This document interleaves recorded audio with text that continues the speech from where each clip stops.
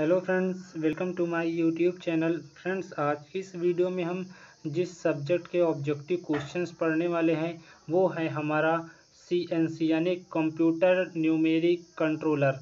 तो जितने भी आपके सब्जेक्ट के इम्पोर्टेंट क्वेश्चन हैं, मैं उन क्वेश्चंस को आज की इस वीडियो में लेकर आया हूँ।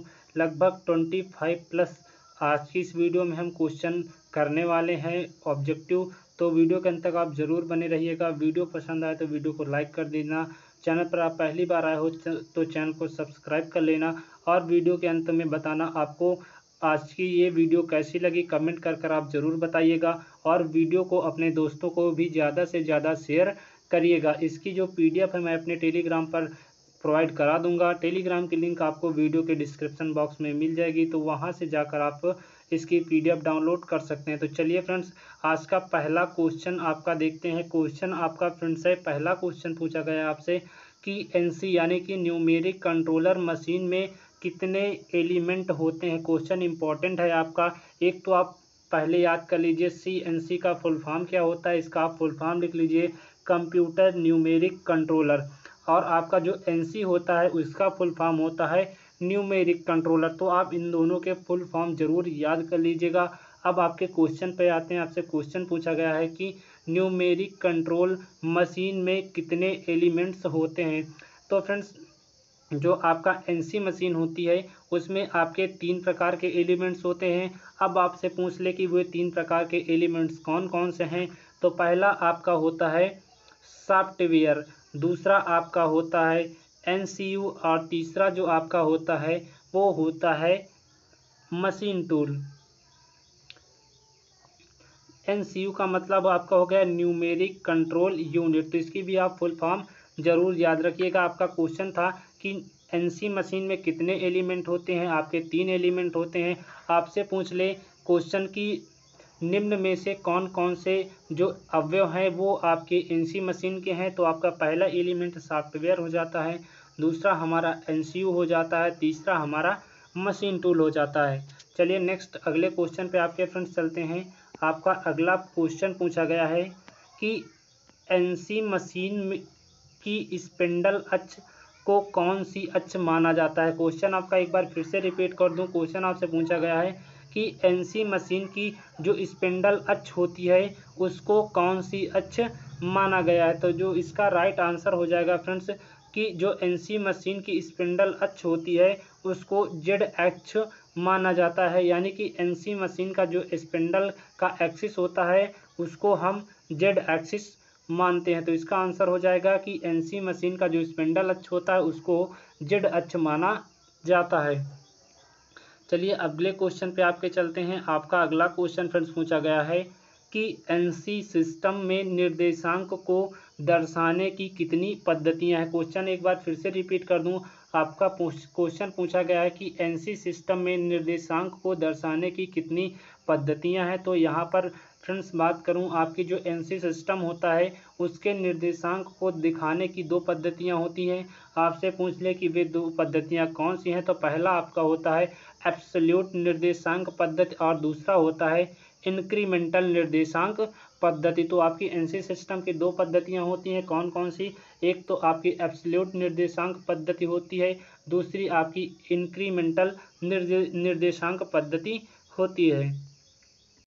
चलिए अब आपके नेक्स्ट क्वेश्चन पर चलते हैं फ्रेंड्स आपका अगला क्वेश्चन पूछा गया है कि मशीन में प्रयुक्त दो या दो से अधिक स्लाइड वे स्लाइड की विस्थापित दिशा में एक दूसरे को किस कोण पर डिस्पोज करती हैं? यानी कि आपका एक बार मैं क्वेश्चन फिर से रिपीट कर दूँ। क्वेश्चन है आपका फ्रेंड्स की मशीन में उपयोग होने वाले दो या दो से अधिक स्लाइड वे स्लाइड को विस्थापित दिशा में एक दूसरे को किस कोण पर डिस्पोज करती हैं?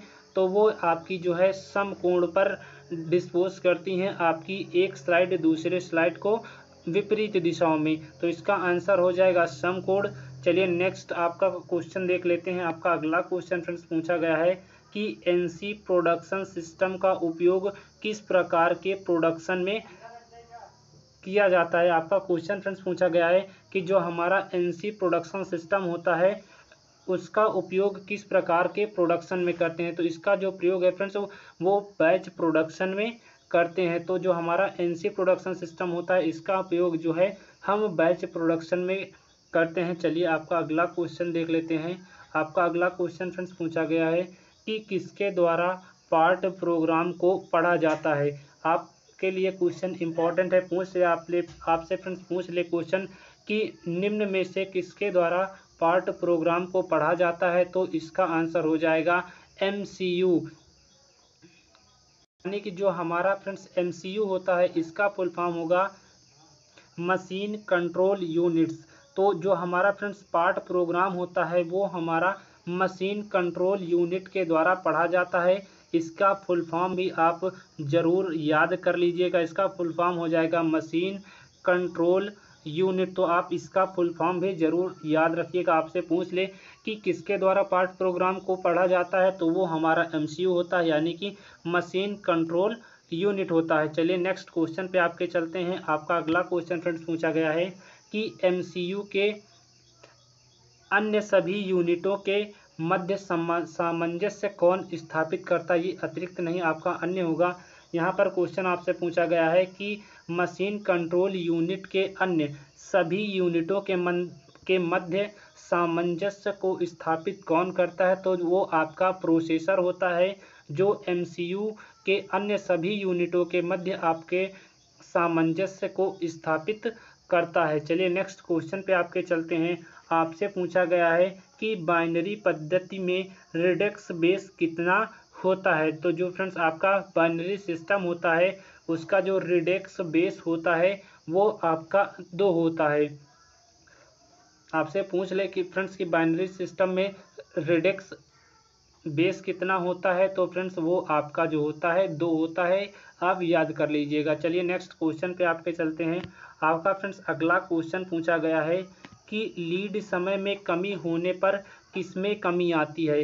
यानी कि जो लीड टाइम होता है, यदि उसमें कमी आ जाए तो किसमें कमी आ जाएगी? तो वो हमारी लागत मूल्य में कमी आ जाएगी। यदि हमारी लीड टाइम में कमी आती है तो तो आपसे फ्रेंड्स पूछ ले कि यदि लीड टाइम पर कमी आती है तो किसमें आएगी? तो वो हमारी प्रोडक्ट के लागत के मूल्य में कमी आ जाएगी। लीड टाइम में कमी आने पर। चलिए नेक्स्ट आपका क्वेश्चन देख लेते हैं। आपका फ्रेंड्स अगला क्वेश्चन पूछा गया है कि एनसी मशीन की दक्षता किस पर डिपेंड करती है? क्वेश्चन इंपॉर्टेंट है, स्टार लगा लीजिएगा। इस पर आपसे पूछा गया है कि जो एनसी मशीन की इफ़िशियंसी होती है, वो किस पर डिपेंड करती है? तो जो फ्रेंड्स, हमारा एनसी मशीन होता है पूरा, वो हमारा सॉफ्टवेयर पर निर्भर करता है कि किस प्रकार के सॉफ्टवेयर का आपका उपयोग किया जा रहा है मशीन में। तो एनसी मशीन की जो फ्रेंड्स, आपकी दक्षता होती है, वो सॉफ्टवेयर पर निर्भर करती है आपके। चलिए नेक्स्ट क्वेश्चन देख लेते हैं। आपका अगला क्वेश्चन पूछा गया है कि एनसी ड्रिल मशीन किसका अच्छा उदाहरण है? आपसे पूछ ले कि एनसी ड्रिल मशीन जो है, निम्न में से किसका एक पर अच्छा उदाहरण है? तो वो आपका हो जाएगा पीटीपी यानी कि पॉइंट टू पॉइंट को सबसे अच्छा उदाहरण माना जाता है आपके एनसी ड्रिल मशीन का।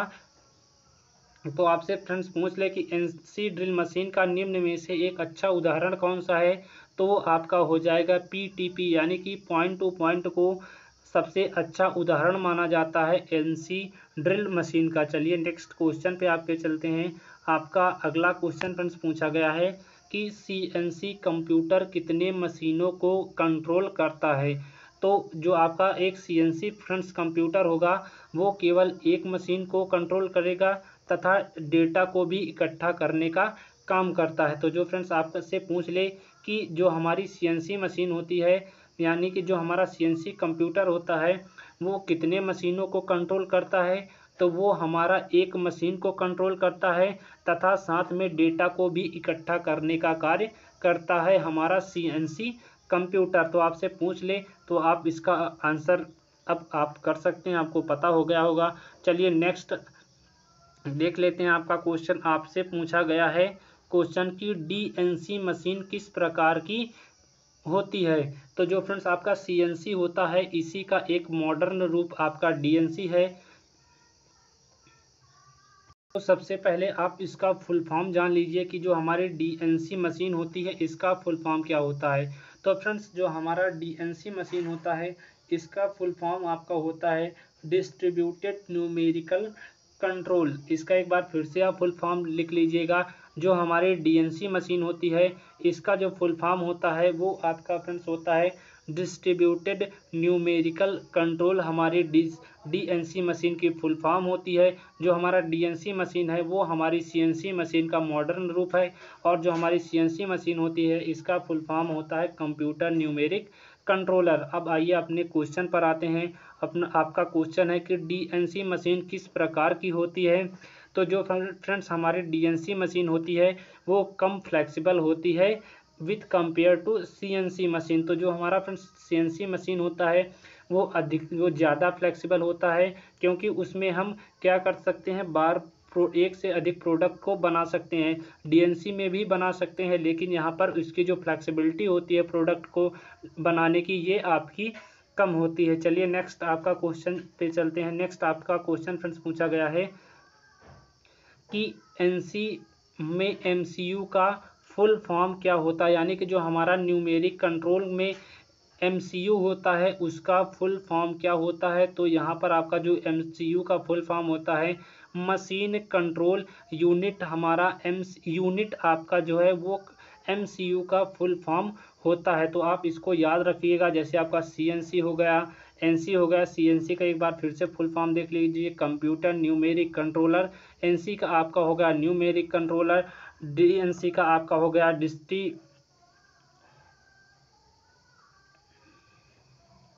डिस्ट्रीब्यूटेड न्यूमेरिक कंट्रोलर आपका डीएनसी का हो गया। और आपसे पूछ ले एमसीयू का तो ये आपका हो गया मशीन कंट्रोल यूनिट चलिए नेक्स्ट क्वेश्चन पे आपके चलते हैं। आपका अगला क्वेश्चन पूछा गया है। आपसे पूछ ले कि कौन सा अक्षर एमसीयू को कोई विशेष प्रक्रिया करने के लिए सावधान करता है? यानी कि आपसे क्वेश्चन इस प्रकार भी पूछ सकता है कि निम्न में से कौन सा जो अक्षर है, वो मशीन कंट्रोल यूनिट को विशेष प्रकार की क्रिया करने के लिए सावधान करता है तो वो आपका अक्षर होता है कैपिटल यू अक्षर, जो हमारा कैपिटल यू अक्षर होता है सीएनसी में, वो क्या करता है कि एमसीयू को कोई भी विशेष प्रक्रिया करने के लिए पहले उसको सावधान करता है। चलिए नेक्स्ट क्वेश्चन पे आपके चलते हैं। आपसे अगला क्वेश्चन फ्रेंड्स पूछा गया है कि सीएनसी मशीन पर किस प्रकार का औज़ार पोस्ट उपयोग में लाया जाता है। क्वेश्चन आपका फ्रेंड्स है इंपॉर्टेंट है, आपसे पूछ सकता है। कि सीएनसी जो मशीन होती है, उस पर किस प्रकार का औज़ार पोस्ट उपयोग में लाया जाता है?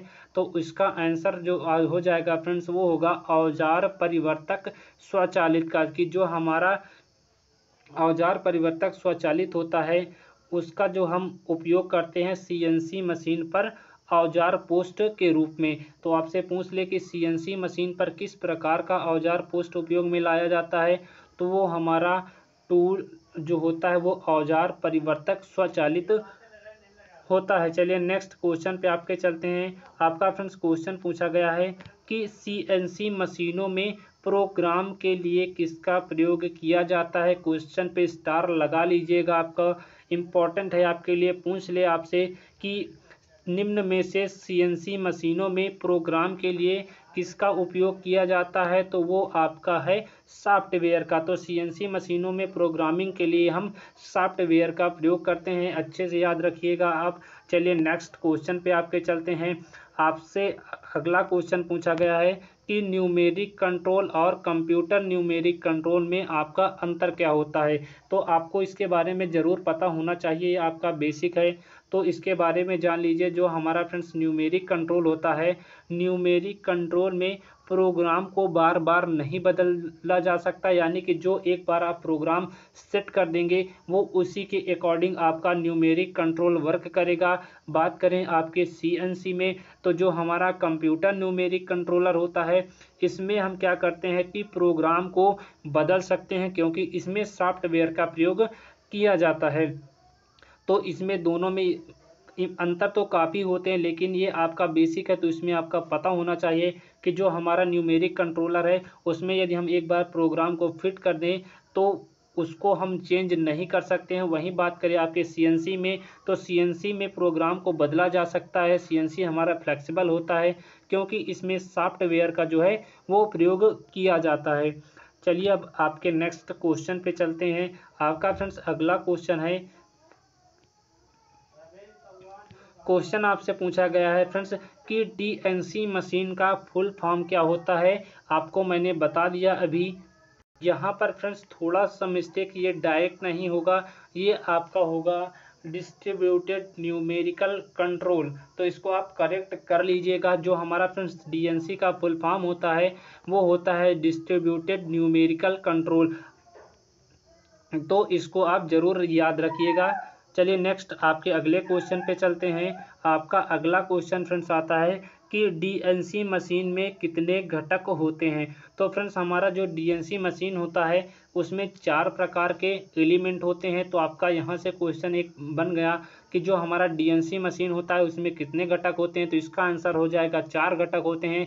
यदि आपसे पूछ ले कि कौन कौन से घटक होते हैं तो इनके नाम नोट कर लीजिएगा आप। पहला आपका होता है सेंट्रल कंप्यूटर दूसरा आपका होता है bulk memo sorry bulk memory to store numeric programs तीसरा आपका होता है टेली कम्युनिकेशन लाइन और चौथा आपका होता है मशीन टूल तो जो हमारा डीएनसी मशीन होता है फ्रेंड्स इसमें चार एलिमेंट होते हैं।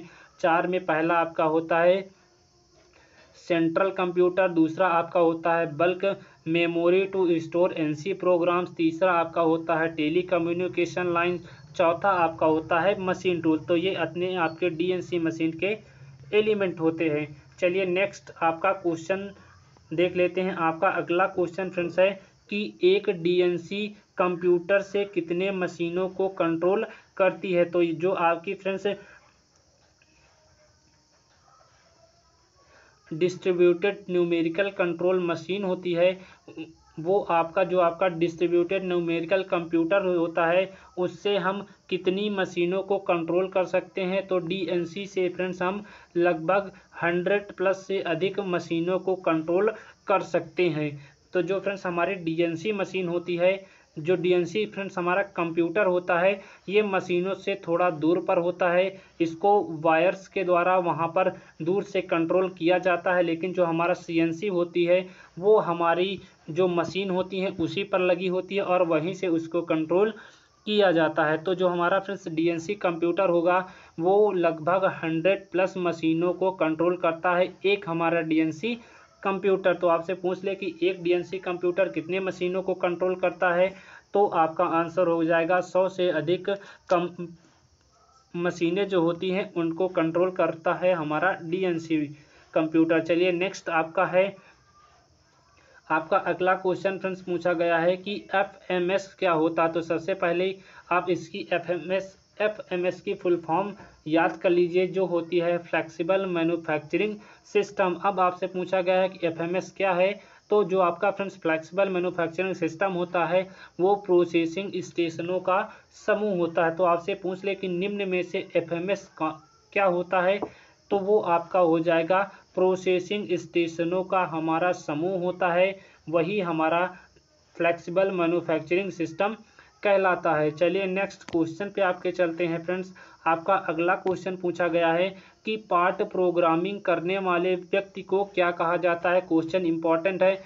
जो फ्रेंड्स आपके पार्ट की प्रोग्रामिंग करते हैं, उन व्यक्तियों को क्या कहा जाता है? तो उनको कहते हैं प्रोग्रामर यानी कि जो प्रोग्राम बनाए, उसको प्रोग्रामर कहते हैं। तो आपका क्वेश्चन है फ्रेंड्स कि पार्ट प्रोग्रामिंग करने वाले व्यक्ति को क्या कहते हैं? तो उसको हम प्रोग्रामर कहते हैं। चलिए नेक्स्ट क्वेश्चन आपका देख लेते हैं। आपका अगला क्वेश्चन फ्रेंड्स पूछा गया है कि मशीन किसकी सहायता से वर्क करती है? तो इसका आंसर हो जाएगा कि जो हमारी फ्रेंड्स मशीन होती है, वो पंच टेप की सहायता से ऑपरेशन करती है और यानी कार्य करती है तो यदि आपसे पूछ ले कि निम्न में से किसकी सहायता से मशीन कार्य करती है तो आपका ऑप्शन होगा करेक्ट वाला। पंच टेप की सहायता से जो हमारी मशीन होती है, वो ऑपरेशन करती है। चलिए नेक्स्ट आपका क्वेश्चन देख लेते हैं। आपका फ्रेंड्स, अगला क्वेश्चन यहाँ पर पूछा गया है कि किसके द्वारा पार्ट प्रोग्राम को पढ़ा जाता है? तो वो हमारा एमसीयू यूनिट के द्वारा, यानी कि मशीन कंट्रोल यूनिट के द्वारा पार्ट प्रोग्राम को रीडिंग किया जाता है। तो आपसे पूछ ले कि निम्न में से किसके द्वारा पार्ट प्रोग्राम को पढ़ा जाता है तो वो हमारा हो जाएगा मशीन कंट्रोल यूनिट के द्वारा पार्ट प्रोग्राम को हम पढ़ते हैं। चलिए नेक्स्ट आपका क्वेश्चन देख लेते हैं। आपका फ्रेंड्स, अगला क्वेश्चन यहाँ पर पूछा गया है कि एक एमसीयू में कितनी यूनिट होती है? इंपॉर्टेंट क्वेश्चन है, स्टार लगा लीजिएगा आप। आपसे पूछा गया है कि एक एमसीयू यानी मशीन कंट्रोल यूनिट में कितनी मशीन कंट्रोल यूनिट में कितनी यूनिट होती हैं? तो आपकी जो एक एमसीयू होती है, उसमें छः यूनिट होती हैं। पहला आपका फ्रेंड्स होता है रीडर यूनिट दूसरा आपका होता है डेटा बफर तीसरा आपका होता है प्रोसेसर चौथा आपका होता है friends output channel and activators पांचवा आपका होता है कंट्रोल पैनल और छठा आपका फ्रेंड्स होता है फीडबैच चैनल तथा ट्रांसड्यूसर तो आपका एक एमसीयू में फ्रेंड्स छः घटक होते हैं। कौन कौन से होते हैं, इनका नाम नोट कर लीजिएगा। पहला आपका होता है reader unit data buffer processor output channel and actuators control panel feed channel and transducer तो ये आपके छः घटक होते हैं एक एमसीयू के। चलिए अगला क्वेश्चन आपका देख लेते हैं। आपका फ्रेंड्स अगला क्वेश्चन पूछा गया है कि बाइनरी पद्धति में कितने अंक होते हैं? क्वेश्चन आपका फ्रेंड्स इंपॉर्टेंट है। आपको शायद इसके बारे में पता होगा।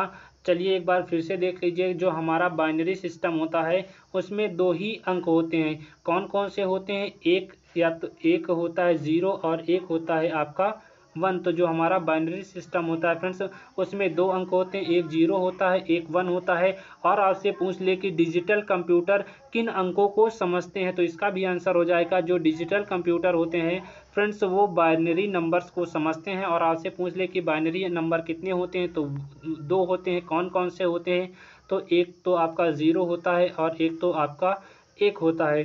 तो ये थे फ्रेंड्स, आपके क्वेश्चन जो अभी कंप्लीट हो चुके हैं, उम्मीद करता हूँ फ्रेंड्स, आपको वीडियो अच्छा लगा होगा तो वीडियो को लाइक कर देना। चैनल पर आप पहली बार आए हो तो चैनल को भी आप सब्सक्राइब कर लेना। साथ ही बेल आइकन को ज़रूर प्रेस करिए। इसी तरह के लेटेस्ट वीडियोस के अपडेट पाने के लिए और इसकी जो पीडीएफ है फ्रेंड्स, अपने टेलीग्राम पर प्रोवाइड करा दूँगा। तो वहाँ से जाकर आप इसकी पीडीएफ डाउनलोड कर सकते हैं। फ्रेंड्स, आपसे एक ही रिक्वेस्ट है कि वीडियो को ज़्यादा से ज़्यादा स्टूडेंट्स के पास शेयर करो ताकि उनको भी अपने सेमेस्टर एग्ज़ाम की तैयारी के लिए कुछ कुछ क्वेश्चन मिल जाएँ। तो चलिए फ्रेंड्स मिलते हैं हम आपसे नेक्स्ट वीडियो में। अगले इंपॉर्टेंट क्वेश्चन के साथ तब तक खुश रहिए, मस्त रहिए, पढ़ते रहिए। अपना ध्यान रखिए, स्वस्थ रहिए। मिलते हैं हम आपसे नेक्स्ट वीडियो में। Take care bye bye have a nice day